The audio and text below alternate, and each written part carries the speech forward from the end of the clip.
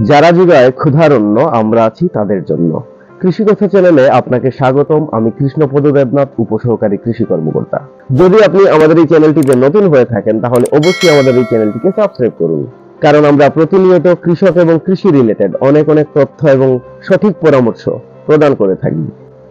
বর্তমানে ধানে একটি বড় সমস্যা হচ্ছে মাজরা পোকার আক্রমণ। এই মাজরা পোকার আক্রমণে বেশিরভাগ ধানের পাতা মরে, হলুদ হয়ে যাচ্ছে। কোনো কোনো ধান গাছের জমি প্রায় পাতাশূন্য হয়ে মাটিতে মিশে যাচ্ছে। বারবার কীটনাশক দিয়েও আপনি সুফল পাচ্ছেন না। তাহলে আজকের এই ভিডিওটি আপনার জন্য। কোনো একটি পোকার দমন ব্যবস্থার আগে প্রথমেই আপনাকে জেনে নিতে হবে যে এই পোকার ধরন সম্পর্কে। পোকা সম্পর্কে ধারণা নিয়ে তারপর আমরা দমন ব্যবস্থার বিভিন্ন পন্থা অবলম্বন করব। কিন্তু তার আগে আমাদেরকে জানতে হবে যে এই পোকাটি ঠিক কি ধরনের পোকা। এই পোকাটি কতটুকু ক্ষতিকারক এবং এই পোকাটি ঠিক কি উপায়ে আমাদেরকে দমন করতে হবে? তার আগে নিশ্চয়ই আমাদেরকে তার প্রকৃতি এবং ধরন সম্পর্কে যদি আমরা জেনে নেই, তাহলে আমরা দমন ব্যবস্থাপনাও সহজেই করতে পারব। মাজরা পোকা হচ্ছে লেপিডপ্টেরা বর্গের এক ধরনের পোকা। তিন ধরনের মাজরা পোকা বাংলাদেশের ধান ফসলে অনেক অনেক ক্ষতি করে। এক, হলুদ মাজরা পোকা। দুই গোলাপি মাজরা পোকা এবং তিন কালো মাথা মাজরা পোকা। মাজরা পোকার কীড়াগুলো ধানের কাণ্ডের ভেতর থেকে খাওয়া শুরু করে এবং ধীরে ধীরে গাছের ডিগ পাতার গোড়া খেয়ে সেখানে কেটে ফেলে। ফলে গাছের ডিগ পাতা মারা যায়। একে মোরাডিক বলে অথবা ডেড হার্ট বলা হয়। ধান গাছে শীষ আসার পূর্ব পর্যন্ত মোরাডিক দেখতে পাওয়া যায়। থোর আসার আগেও মোরাডিক যদি দেখতে পাওয়া যায়, তখনও ধান গাছ অতিরিক্ত কিছু কুশি উৎপাদন করে, যার ফলে আংশিক ক্ষতি অনেকাংশে কমিয়ে ফেলে। মোরাডিক টান দিলেই সহজে উঠে আসে। মাজরা পোকাকে সিলেট অঞ্চলে মাঞ্জারা বলা হয়। মাঝের পাতাটিকে কেটে ফেলে এবং মাঝের পাতাটিকে টান দিলেই উঠে আসে। এটাকেই মূলত ডিগ পাতা বলা হয়। শীষ আসার পর মাজরা পোকা যদি ক্ষতি করে, তখন তাকে মোরা শীষ বলা হয় অথবা সাদা শীষ বলা হয়। শীষের গোড়ায় যদি সম্পূর্ণভাবে মাজরা পোকা যদি কেটে না দেয়, তাহলে হয়তো বা আংশিকভাবে সেই ক্ষতির পূরণ হবে। কিন্তু বেশিরভাগ ক্ষেত্রেই দেখা যায় যে শীষের গোড়া একেবারেই সম্পূর্ণরূপে তারা কেটে ফেলে, যার ফলে মোরা শীষ টান দিলেই উঠে আসে। ঠিকই ভিডিও চিত্রের মতো।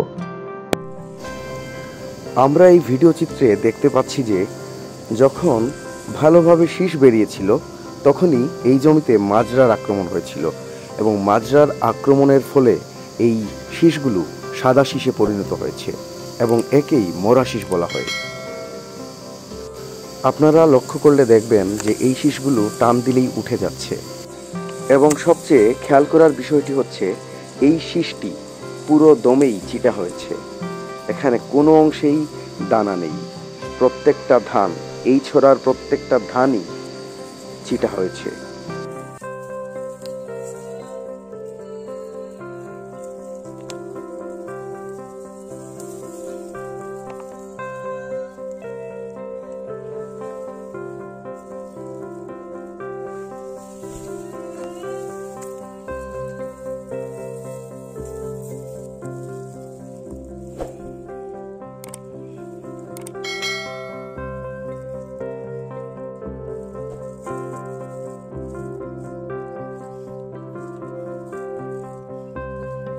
গাছে মাজরা পোকার ডিমের গাদা দেখলে আপনাকে বুঝতে হবে যে আপনার জমিতে ক্ষতির সম্ভাবনা আছে। হলুদ মাজরা পোকা পাতার উপরের অংশে ডিম পারে এবং গোলাপি মাজরা পোকা খোলের ভেতরে ডিম পারে মাজরা পোকার আক্রমণের পূর্বে আপনাকে কি করতে হবে? প্রথমেই বলে নেই, সঠিক পদ্ধতিতে চারা রোপণ করতে হবে। অর্থাৎ সঠিক দূরত্ব মেনে আপনাকে চারা রোপণ করতে হবে। আপনাকে লাইন এবং লগো পদ্ধতিতে ধানের চারা রোপণ করতে হবে। ধানের চারা লাগানোর পরই জমিতে পর্যাপ্ত পরিমাণে খুঁটি আপনাকে পুঁতে দিতে হবে, যেটাকে বলে পার্চিং। সেখানে পাখি বসে পোকা খেয়ে দমন করবে। সর্বোপরি মাটি পরীক্ষা করে আপনাকে সুষম সার প্রয়োগ করতে হবে। যা যা বললাম সেগুলো হচ্ছে আক্রমণের পূর্বে আপনার করণীয়। এবার বলছি আক্রমণের পর আপনার করণীয় কি? যখন এই মাজরা পোকার আক্রমণ বেড়ে যায়, তখন জমিতে অতিরিক্ত পরিমাণে ইউরিয়া সার প্রয়োগ আপনার বন্ধ করতে হবে এবং জমিতে অ্যালোপাথারি কীটনাশকের প্রয়োগ আপনার বন্ধ রাখতে হবে। নিয়মিত ক্ষেত পরিদর্শনের সময় মাজরা পোকার ডিম এবং মাজরা পোকার মদ সংগ্রহ করে আপনাকে তা নষ্ট করে ফেলতে হবে। থোর পূর্ব পর্যন্ত আপনি চাইলেই হাত জাল ব্যবহার করে মাজরা পোকার মদ ধরতে পারবেন। এবং সেটা ধরে মেরে ফেলতে পারবেন। মাজরা পোকার পূর্ণবয়স্কের মথের যদি প্রাদুর্ভাব অনেকাংশে বেড়ে যায়, তখন আপনাকে আলোকপাত করতে হবে। গত ভিডিওতে আমি আলোকপাত সম্পর্কে অনেক অনেক কথা বলেছি। পাতা মোড়ানো পোকার ক্ষেত্রেও আপনাকে যেভাবে আলোকপাত করতে হবে মাজরা দমনের ক্ষেত্রেও আপনাকে একইভাবে আলোকপাত করতে হবে। শতকরা ধানে পনেরোটিরও বেশি যদি মোরা ডিগ পাওয়া যায়, অর্থাৎ ডিগ পাতা যদি টান দিলেই উঠে আসে, তখনই আপনার কীটনাশক ব্যবহার করতে হবে। তার আগে আপনি জৈবিক উপায়ে এই পোকা দমন করবেন। কীটনাশকের গ্রুপ স্বরূপ এবং বাণিজ্যিক নাম স্বরূপ কিছু কীটনাশক আমি সাজেস্ট করছি, যেগুলো আপনার মাজরা দমনে অত্যন্ত কার্যকর। তবে বছরের পর বছর একই কীটনাশক আপনার জমিতে প্রয়োগ করা যাবে না। এতে পোকা, সেই কীটনাশকের বিরুদ্ধে তাদের প্রতিরোধ ক্ষমতা গড়ে তুলতে পারে। তাই অনেক অনেক কৃষকেরা বলেন যে, আমাদের এই কীটনাশক সঠিক মাত্রায় দিয়েছি, সঠিক সময়ে দিয়েছি, কিন্তু কাজ করছে না। আমাদের সঠিক সময়ে যেভাবে কীটনাশক দিতে হবে, সঠিক উপায়ে যেভাবে অনুমোদিত মাত্রা মেনে যেভাবে আমাদেরকে কীটনাশক দিতে হবে, ঠিক তেমনি বছরের পর বছর একই জাতের কীটনাশক, একই গ্রুপের কীটনাশক আমাদের জমিতে প্রয়োগ করা যাবে না। থায়োমিথাক্সাম এবং ক্লোরানিলিপ্রিল গ্রুপের এই কীটনাশক, বিশেষ করে ভিড়তাকো সম্পর্কে আমরা অনেকেই জানি। এই ভিড়তাকো বছরের পর বছর আপনি আপনার জমিতে প্রয়োগ করছেন। কিন্তু ভিড়তাকোর মতোই আরও আরও কিছু কীটনাশক আছে, যেগুলোর কাজ প্রায় একই রকম। তাহলে আমরা জেনে নেই সেই কীটনাশকগুলো কি।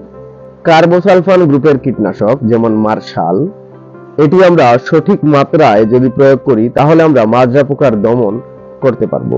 কার্বোসালফান গ্রুপের মার্শাল এবং ফ্রিডম বিঘা প্রতি জমিতে যদি দুইশো মিলি হারে প্রয়োগ করেন, তাহলে অবশ্যই আপনার এই মাজরা পোকার দমন অত্যন্ত কার্যকর হবে। অথবা কার্টাপ এবং সানটাপ আপনি যদি সঠিক মাত্রায় জমিতে প্রয়োগ করতে পারেন, তাহলে আপনার জমিতে মাজরা পোকার দমন আপনি সহজেই করতে পারবেন। কিন্তু কার্টাপ এবং সানটাপ আপনাকে কতটুকু দিতে হবে? দুই দশমিক চার গ্রাম প্রতি লিটার পানিতে মিশিয়ে আপনি কার্টাপ এবং সানটাপ যদি প্রয়োগ করেন, তাহলে আপনার জমির মাজরা দমন সহজেই আপনি করতে পারবেন। এবার আসি ক্লোরোপাইরিফস গ্রুপের কীটনাশক ডার্সবানকে নিয়ে। ডার্সবান বিশ ইসি আপনাকে বিঘা প্রতি জমিতে একশো বিশ মিলি হারে যদি আপনি প্রয়োগ করেন, তাহলে আপনার এই মাজরা পোকার দমন আপনি সহজেই করতে পারবেন। তবে আপনাকে অবশ্যই প্রত্যেকটি স্প্রেই আপনাকে বিকালে করতে হবে। কখনোই সকালে স্প্রে করবেন না। সকালে স্প্রে করলে ধানের পলিনেশনে ক্ষতি হয়। ফেনিট্রেথিয়ন গ্রুপের কীটনাশক, যদি আপনি সুলিথিয়ন স্প্রে করেন, তাহলেও আপনি আপনার এই মাজরা পোকা দমন করতে পারবেন। এক্ষেত্রে একশো চৌত্রিশ মিলি হারে প্রতি বিঘায় আপনি প্রয়োগ করতে পারবেন। এবং এভাবেই আপনি মাজরা দমন করতে পারবেন। অথবা ফ্রিপ্রোনিল গ্রুপের কীটনাশক, রিজেন্ট। এই রিজেন্ট কীটনাশকটি মাজরা পোকা দমনে অত্যন্ত কার্যকর একটি কীটনাশক।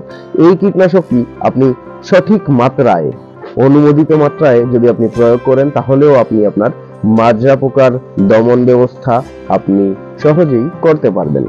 এক্ষেত্রে আপনাকে কতটুকু পরিমাণে এই রিজেন্ট ব্যবহার করতে হবে। বিঘা প্রতি সাতষট্টি মিলি হারে যদি আপনি এই রিজেন্ট মানে এই ফ্রিপ্রোনিল গ্রুপের কীটনাশকটি যদি আপনি সঠিক মাত্রায় স্প্রে করেন, তাহলে আপ- আপনি সহজেই আপনার ফসলকে মাজরা পোকার হাত থেকে আপনি বাঁচাতে পারবেন।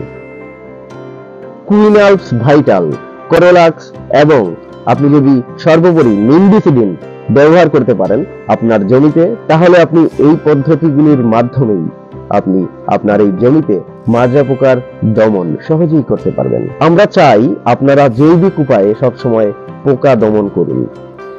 কারণ আমরা জানি কীটনাশক অত্যন্ত ক্ষতিকর এবং আমরা চাই বাংলাদেশকে বিষমুক্ত একটি বাংলাদেশ হিসেবে নতুন প্রজন্মের কাছে তুলে ধরতে।